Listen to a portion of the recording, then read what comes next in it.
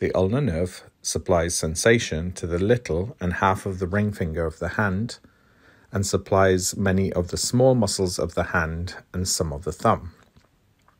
The ulnar nerve passes through the cubital tunnel at the back of the medial epicondyle, which is the pointy bone on the inside of the elbow, often referred to as the funny bone.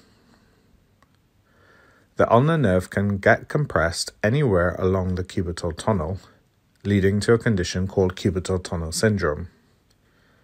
Symptoms of cubital tunnel syndrome usually involve pins and needles of the little and ring finger of the affected hand, and in severe cases, weakness of grip.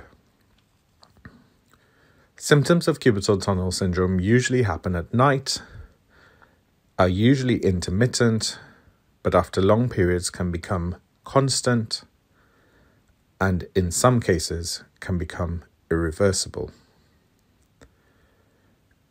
In early cases, we recommend patients avoid sleeping with their arms bent or keeping their arm bent for long periods when reading, using a mobile phone, or driving.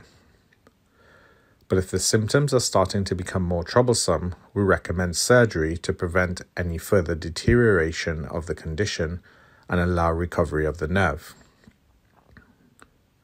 A cubital tunnel release is often done with a patient awake under regional anesthesia.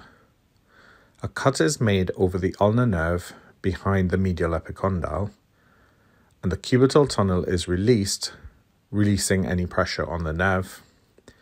The skin is then stitched, a dressing is applied, and a bandage is applied.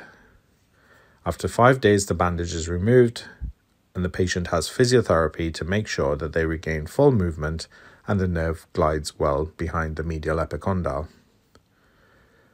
If cubital tunnel syndrome is treated early, recovery can be quite quick.